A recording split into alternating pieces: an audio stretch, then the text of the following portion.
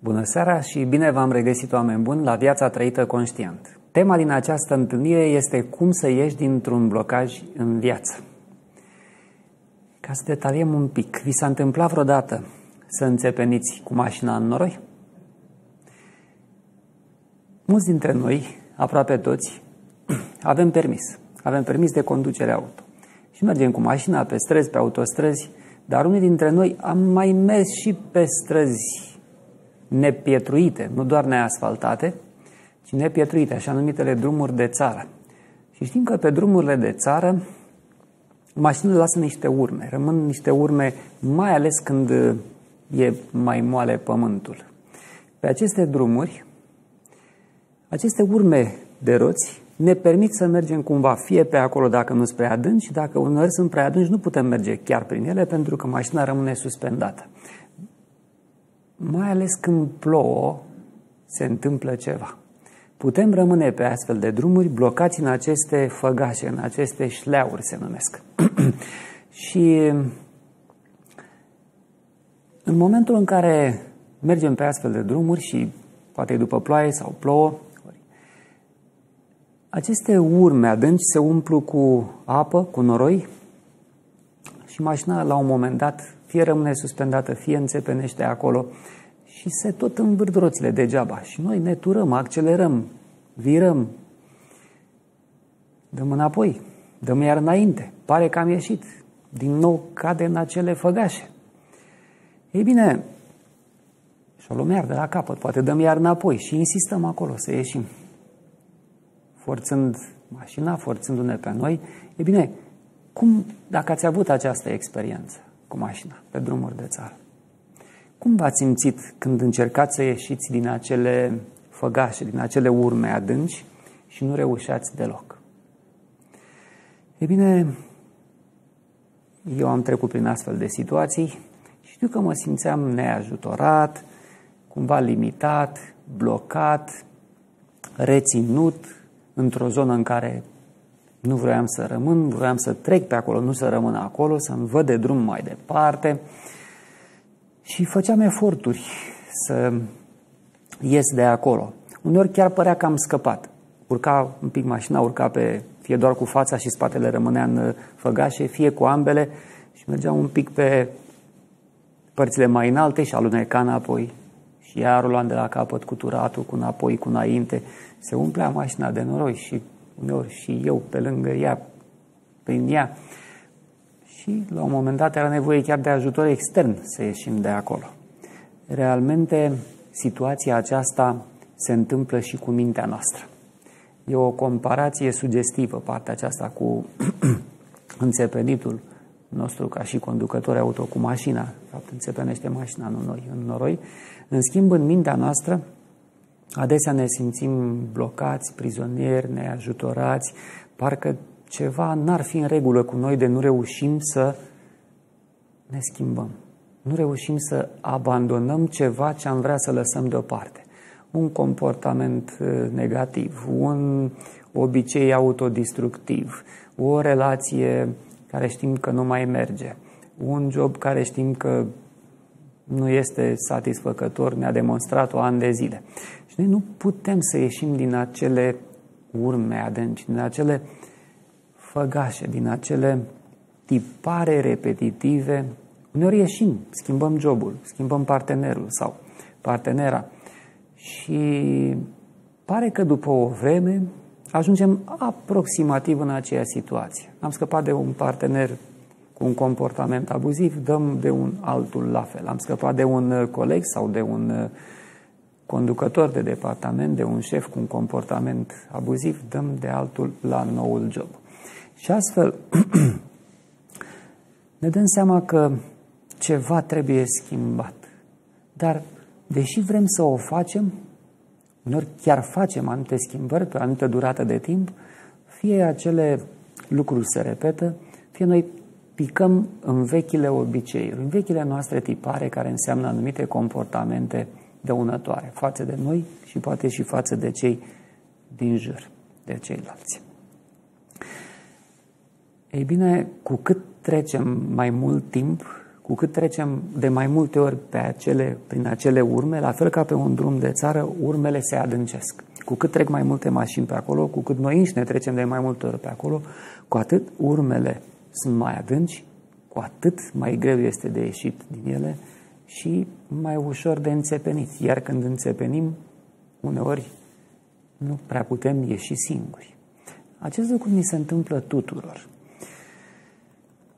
Pentru că mintea noastră formează tipare, așa cum drumul păstrează urmele mașinilor. Mintea noastră păstrează urmele comportamentelor noastre anterioare, experiențelor pe care le-am avut. Dar așa ceva, o astfel de situație, nu este fără ieșire.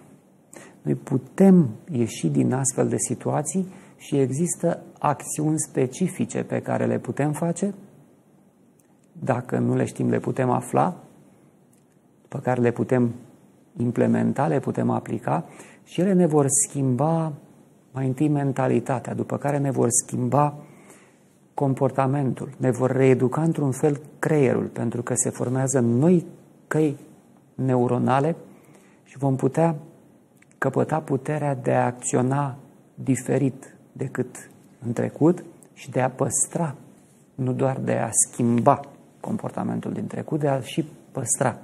Astfel devine mai ușor, tot mai ușor, să schimbăm un alt comportament care am constatat că ne este dăunător și așa mai departe. Să eliminăm tot mai mult din aceste urme adânci care simțim că la un moment dat sunt limitative, sunt blocante pentru noi. Și odată, odată ce învățăm să ieșim dintr-un blocaj, devenim mai puternici și putem ieși și din altele din următoarele. Mai întâi, e necesar să învățăm să sesizăm când suntem într-o astfel de situație. Pentru că există, așa cum uh, o deficiență a corpului fizic, să zicem o boală a corpului fizic, se poate constata prin simptome, tot la fel, un astfel de blocaj pe care îl experimentăm în viața noastră se poate observa, se poate identifica prin semne. Sunt anumite semne, anumite, le spunem, putem să spunem chiar la fel, simptome, ca în cazul bolilor și noi astfel ne dăm seama că avem un astfel de blocaj. Un prim aspect, un prim semn care ne arată că ne aflăm în așa ceva este așa numita buclă repetitivă. E, acesta e cumva cel mai vizibil semn că suntem blocați într-un vechi tipar și ar fi ceva de făcut. Se întâmplă ceva negativ, ceva care ne provoacă suferință și acest lucru se tot repetă la anumite intervale de timp schimbăm câte ceva, mai ales în exterior, dar situația neplăcută se repetă. Așa cum am exemplificat mai devreme, poate că noi am uh, schimbat uh, jobul, dar situația de la noul job pare să semene cu cea veche. Uneori am schimbat uh, locuința, dar contextul și ceea ce ne deranja la vechea locuință, să zicem, vecini zgomotoși, se repetă și cu la noua locuință, deși sunt alți vecini, însă experiența zgomotului și mai ales a zgomotului nocturn, să zicem, care nu ne lasă să ne odihnim, se repetă. Și astfel noi ne dăm seama că avem parte de aproximativ aceleași experiențe. Experiențe neplăcute care se tot repetă, deși noi schimbăm anumite aspecte. Un alt semn că ne aflăm într-o astfel de situație blocantă este că situația neplăcută se perpetuează. Nu e cam la primul semn când ne aflăm într-o buclă negativă, repetitivă. Aceasta înseamnă din când în când se repetă experiențele. Un alt semn este când se perpetuează experiențele neplăcute. Practic, nu doar că avem anumite intervale de timp de pauză, ci tot timpul suntem în acea experiență dureroasă, generatoare de suferință. Și poate suntem în ea de mult timp și nimic nu se schimbă.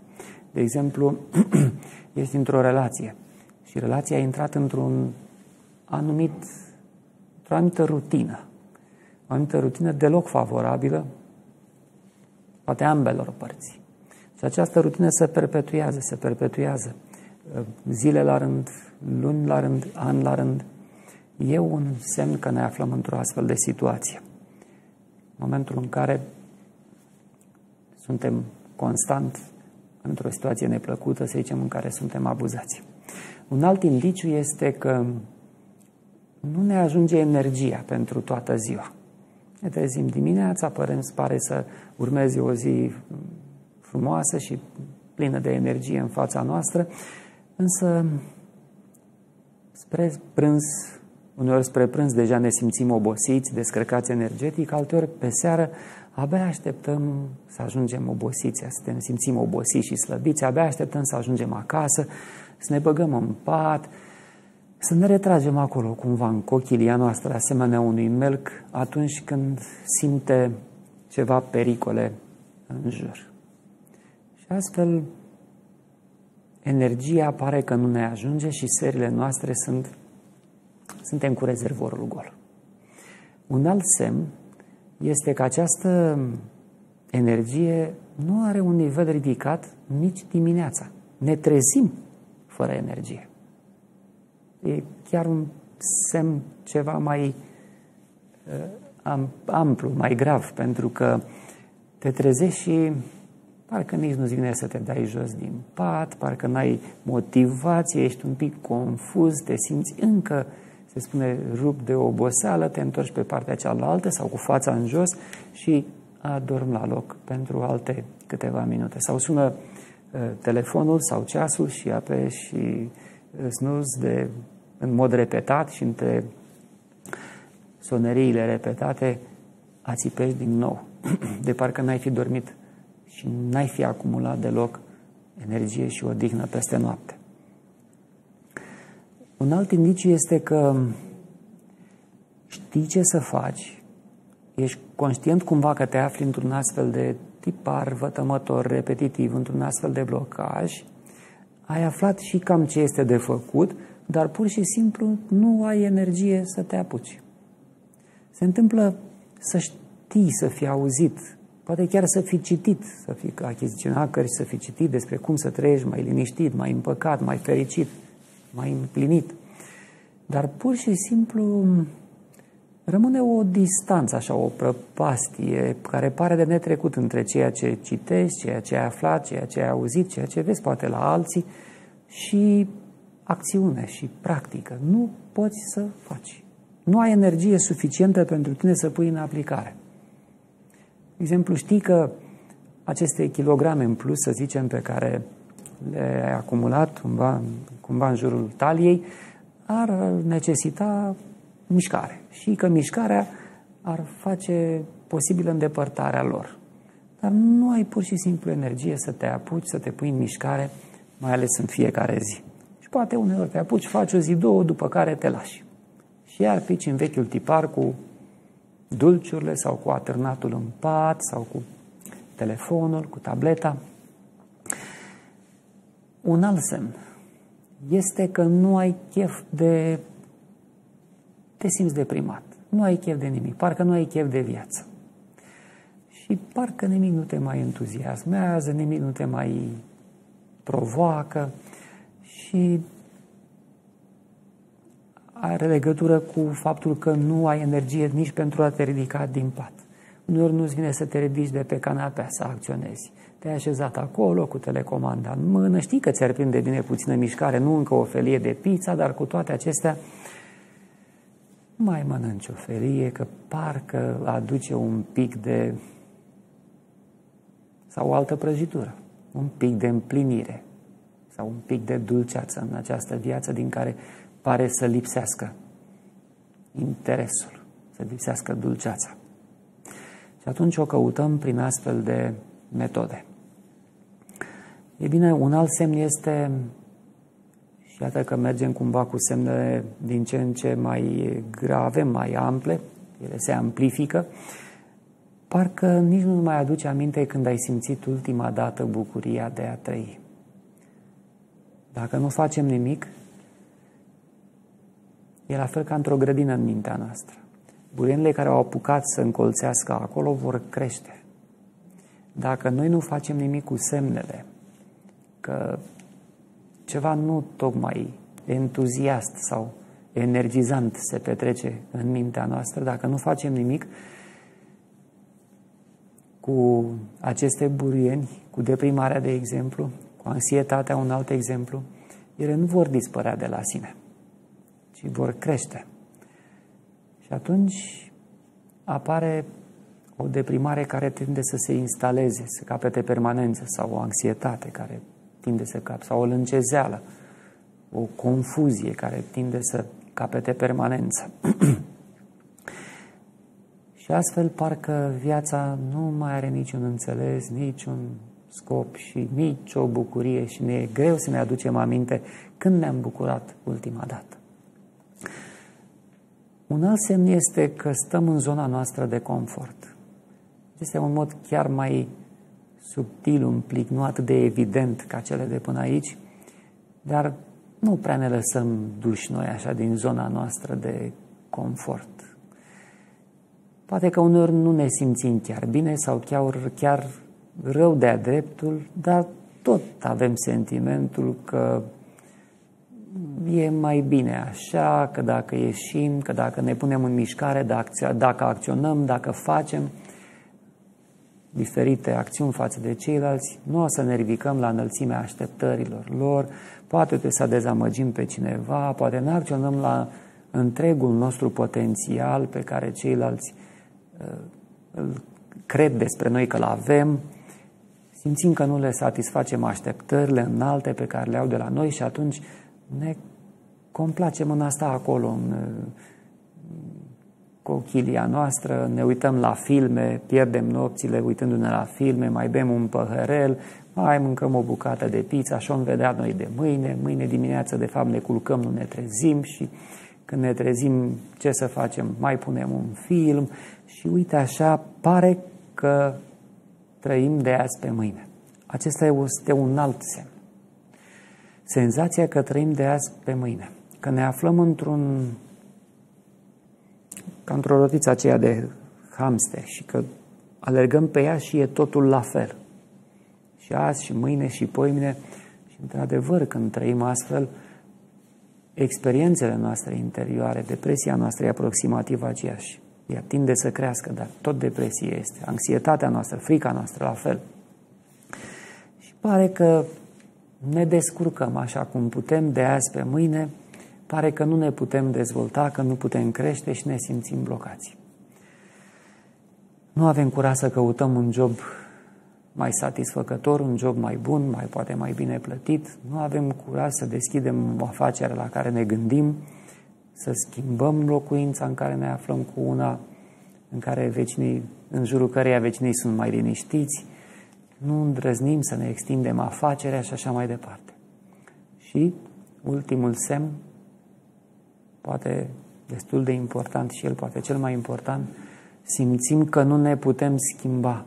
De fapt, chiar spunem că noi nu ne putem schimba, că nu merge pentru noi, nu e pentru noi. Și noi aflăm diferite metode, diferite uh, recomandări, dar ajungem să fim atât de dezamăgiți că spunem, nu e pentru mine, la mine nu funcționează, am încercat atâtea și atâtea, m-am lăsat, nu mai îmi trebuie.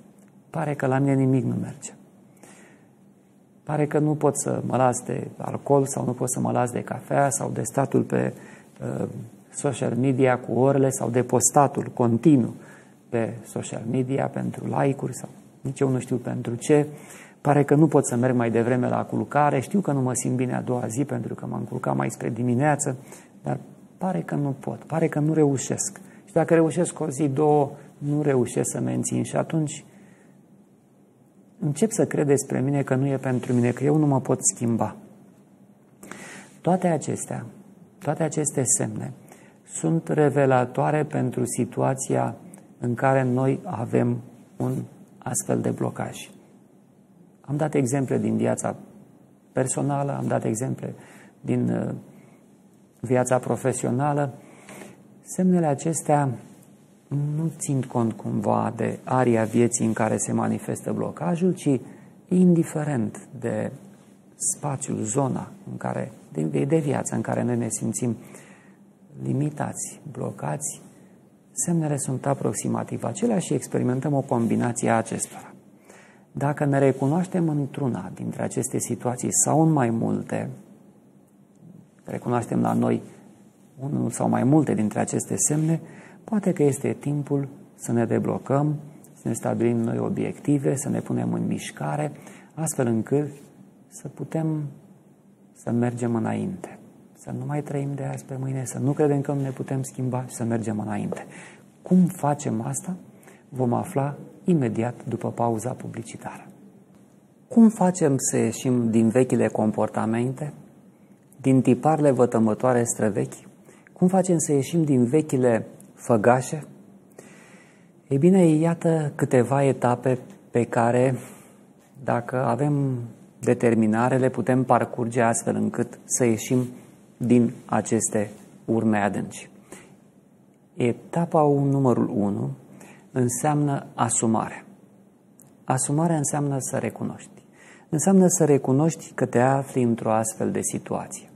Înseamnă să te privești cu sinceritate, să ne privim cu sinceritate pe noi înșine să vedem dacă ne regăsim într-un astfel de blocaj în viață, într-un anumit domeniu al vieții noastre. Și dacă am recunoscut semnele despre care am vorbit în prima parte a emisiunii, să recunoaștem față de noi înșine că așa stau lucrurile.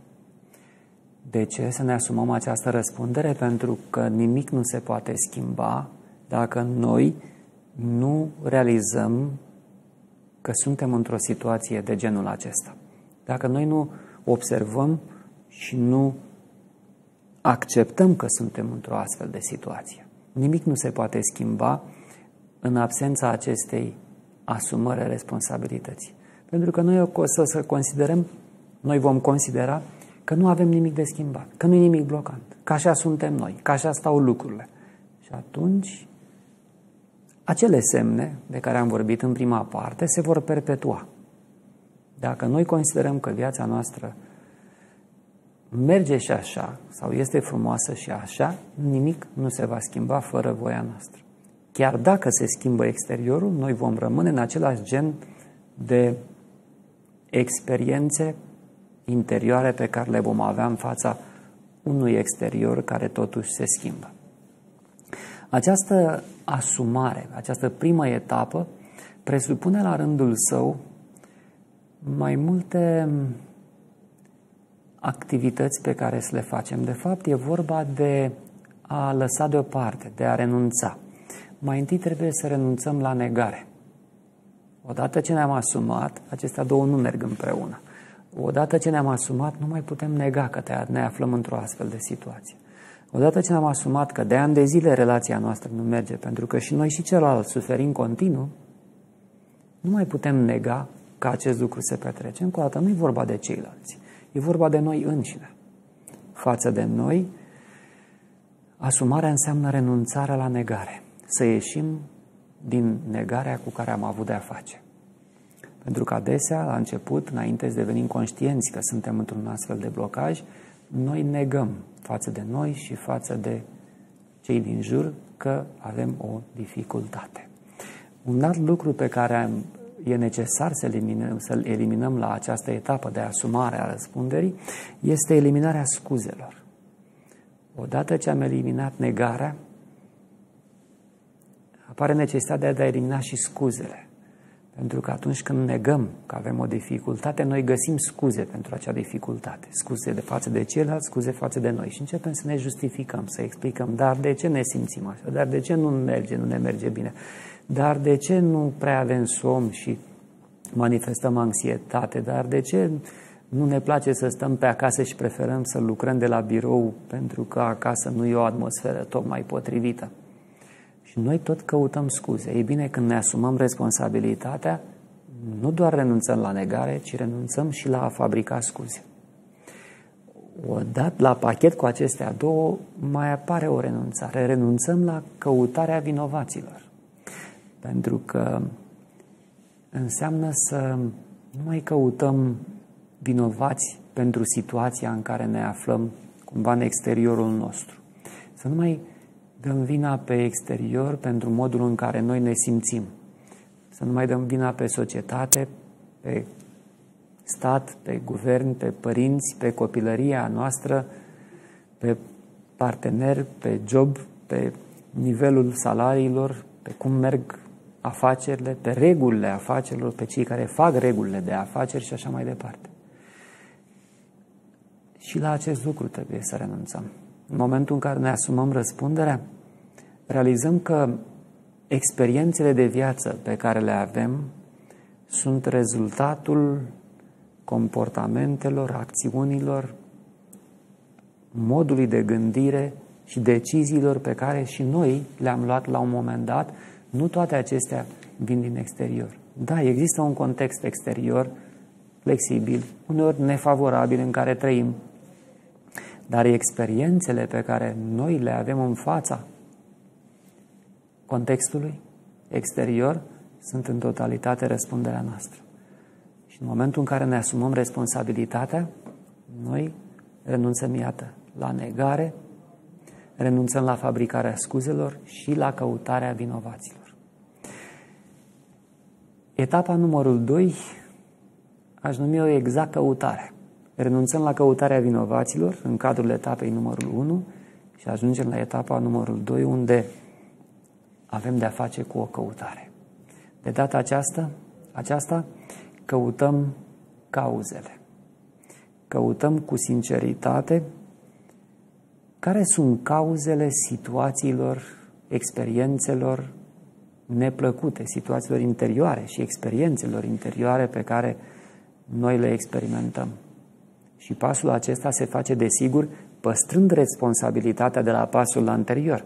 Faptul că trecem la etapa numărul 2 nu înseamnă că am terminat cu etapa numărul 1, ne-am asumat responsabilitatea ieri, am înțeles-o, astăzi trecem la căutarea cazilor, dar fără responsabilitate. Nu ne mai asumăm responsabilitatea și în timp ce căutăm cauzele, poate iar negăm, iar fabricăm scuze, iar căutăm vinovați. Nu. Trecerea prin aceste etape, sunt mai multe, nu ne vom opri la a doua, implică un fel de construcție interioară, ca atunci când construim o clădire sau un zid și punem un rând de cărămizi, după care punem încă un rând de cărămizi, fără să-l scoatem pe cele de sub, și mai punem încă un rând de cărămizi și astfel noul rând de cărămizi se sprijină pe vechiul, pe anteriorul rând de cărămizi și acesta pe cele dinaintea sa. Tot astfel arată și etapele uh, acestor, uh, acestei, cumva să-i spunem, metode de eliminare a blocajelor din viața noastră. Bun. Această clarificare fiind adusă, să trecem mai departe, spuneam, etapa numărul 2 înseamnă căutare, căutarea cauzelor. În această etapă noi trebuie să identificăm care sunt cauzele reale ale blocajelor pe care noi le resimțim în viață. Și aici e un pas foarte important. Toți sunt importanți. Dar aici e extrem de important pentru că implică să ne privim cumva pe noi. Implică să privim de la exterior spre interior. Să ne întoarcem atenția de la exterior către interior. Ne uităm la noi, nu la ceilalți, când căutăm cauzele. Acest lucru făceam când nu știam nici măcar de etapa 1, căutam vinovații în exterior și credeam că ei sunt cauza supărării, nemulțumirii, nefericirii noastre. Acum căutăm nu la ei, căutăm la noi, căutăm în interior. La noi, nu la ceilalți. Căutăm în interior să identificăm care sunt acțiunile noastre care contribuie la starea pe care o avem. Care e atitudinea pe care, care contribuie la starea pe care o avem. Care este modul de gândire. Care sunt convingerile.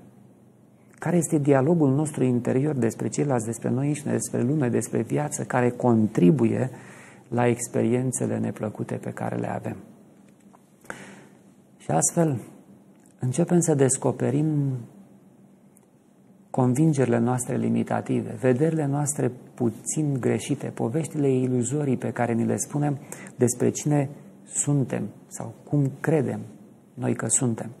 Și toate acestea ne împiedică să avem experiențe mai bune de viață. Vom descoperi parcurgând, făcând cu adevărat această etapă de căutare, de căutare, de introspecție, faptul că aceste cauze sunt propriile noastre modalități de gândire și de acțiune din trecut.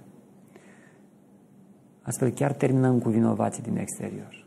Ne dăm seama că actualul context de viață, în care poate nu ne simțim foarte bine, e cumva un rezultat și al acțiunilor noastre din trecut și al modului nostru de gândire din trecut.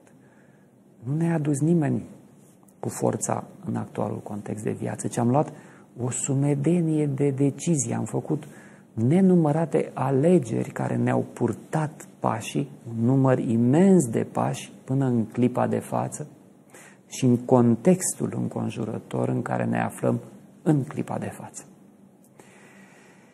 Astfel realizăm că noi nu suntem străini de ceea ce se petrece în interiorul nostru, de experiențele pe care le avem. Realizăm cumva că noi am permis situația nefavorabilă sau abuzul cu care avem de a face și poate încă îl mai permitem. Poate când am intrat în acea relație, poate prima dată când mi s-a vorbit desconsiderator, poate prima dată când am fost uh, abuzați sau zgâlțiți de cineva. Și noi atunci am trecut cu vedere. Și am trecut cu vedere și a doua oară, și a treia oară, și a patra oară. Și lucrurile s-au amplificat. Acest lucru se petrece nu doar într-o relație personală, ci și într-o relație profesională. Și cel mai important, putem descoperi căutând cauzele că poate așa procedăm și noi. Poate așa am procedat și noi în trecut cu alții și încă poate mai procedăm. Poate la o scară mai mică. Poate mi se pare nouă nesemnificativ, dar am încercat vreodată să ne punem în experiența celuilalt în fața ironiei noastre. Poate nouă ni se pare că suntem amuzanți când uh, avem un limbaj ironic față de cineva. Ni se pare nouă din perspectiva noastră că suntem amuzanți, dar un oarecare efort de a-l observa pe celălalt în timp ce vorbim cu el și poate dăm drumul ironiei, ne-ar ajuta să ne dăm seama că are o experiență diferită de a noastră. Noi suntem ușor amuzați și mulțumiți și încântați de noi ce inteligentă remarcă ironică am făcut, în timp ce el înregistrează neplăcere, frustrare, se retrage în el, suferință. Și iată cum noi, fără să ne dăm seama, continuăm și astăzi să facem pe alții să sufere experiențe pe care și noi le suferim la rândul nostru. Drept consecință, când procedăm astfel, rănindu-i pe alții, chiar dacă nu ne dăm seama că o facem, și alții ne vor răni pe noi. Și ei poate se vor considera ca și noi amuzanți sau simpatici, în timp ce noi suferim în urma remarcilor sau acțiunilor lor. Această etapă a doua ne conduce în etapa a treia, în etapa numărul 3, care înseamnă autocunoașterea. Deci pătrundem din ce în ce tot mai profund în interiorul nostru. Ajungem la o etapă de autocunoaștere. Și aceasta o etapă care înseamnă nu doar identificarea cauzelor, ci cunoașterea mai exactă și nu doar a cauzelor în situația respectivă, ci o cunoaștere mai exactă a ființei noastre pe interior. O autocunoaștere ne permite să dăm deoparte straturile care credeam că ne reprezintă, să dăm deoparte identificările pe care le-am acceptat. Eu sunt așa și pe dincolo. Lasă-mă așa cum sunt. În momentul în care ne privim pe noi înșine, căutăm să ne cunoaștem, începem să ne dăm seama că putem să abandonăm multe din credințele, prejudecățile, părerile pe care le aveam despre noi înșine și care de acolo, din interiorul nostru, ne determinau modul în care vorbim, în care mergem pe stradă, în care comunicăm, în care acționăm, indiferent ce facem în această lume, în această viață. Astfel, al treilea rând, a treia etapă se adaugă peste primele două. Da? Ne amintim peste căutarea cauzelor da? și peste asumarea responsabilității. Pentru a ne debloca, trebuie să le folosim pe toate, nu să dăm deoparte vreuna dintre ele după ce am folosit-o. Și pentru a ne cunoaște, noi trebuie să știm bine cu ce avem de-a face. Și avem de-a face întotdeauna cu propria noastră minte. Acolo se află părerile despre noi. Acolo se află ceea ce credem despre noi că putem face și ceea ce credem despre noi că nu putem face, că nu suntem în stare. De acolo pleacă tot comportamentul nostru, atitudinea noastră, stările pe care le avem, vorbirea, acțiunile pe care le facem. Iar toate acestea sunt susținute de funcțiile noastre mentale, de anumite mecanisme de funcționare ale minții noastre. Și unul pe care este necesar să-l cunoaștem în această situație a experienței anumitor blocaje, limitări, este acela că noi, oamenii, avem cumva o setare by default. Adică pare să fie din naștere, să o avem acolo. Aceasta este să evităm durerea și să căutăm plăcere. Este o tendință mentală pe care o avem cu toții și nu doar noi ființele umane, ci și animalele. Este poate cea mai puternică tendință a noastră, a tuturor ființelor vii, să scăpăm de durere și să găsim plăcerea. Și această tendință se manifestă cumva fără știrea noastră. Se manifestă în mod automat. Când noi suntem ocupați cu altceva, ea decide pentru noi direcția gândirii și din gândire a acțiunilor noastre. Acest lucru se întâmplă când noi nu suntem conștienți. Există un anumit firesc, o anumită naturalețe a acestei căutări. Să scăpăm de durere și să căutăm plăcere, tot mai multă plăcere. Numai că într-o etapă ulterioară e nevoie să, e necesar să ne definim, să cunoaștem cu exactitate și ce înseamnă mai clar pentru noi durerea și plăcerea. Pentru că și aici apar anumite confuzii, dar nu face obiectul emisiunii de astăzi. Trebuie să trecem la rândul următor, să ne încadrăm cumva, măcar să le menționez pe toate până la finalul emisiunii. Există o dublă legătură între această setare implicită a minții noastre și situațiile blocante din viața noastră. Și anume, dacă noi rămânem în actualele tipare repetitive, știm la ce să ne așteptăm. Apare cumva certitudinea și când apare certitudinea, noi știm cum să administrăm situația, deși poate e neplăcută. De exemplu, a, să bea, bea din nou, dar manifestă gelozia din nou, da, și eu știu ce am de făcut, mă fac că n-aud din nou. Și astfel, deși nu te simți bine în situația actuală și ea este repetitivă, ajungi să te simți confortabil. Pentru că știi la ce să te aștepți. Apare certitudinea. Cu certitudine, dacă se îmbate și devine, manifestă din nou gelozia, știu ce am de făcut, că mă facă nu aud și mă retrag în dormitor sau pe balcon. Și deși nu este bine, nu e o situație plăcută, noi știm la ce să ne așteptăm. E previzibil ce urmează.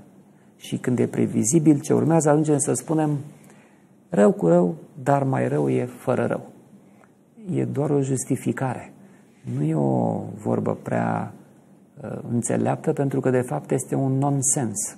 E un joc de cuvinte care de fapt ascunde un nonsens.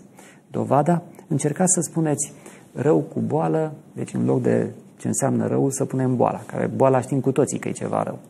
Rău cu boală, dar mai rău e fără boală.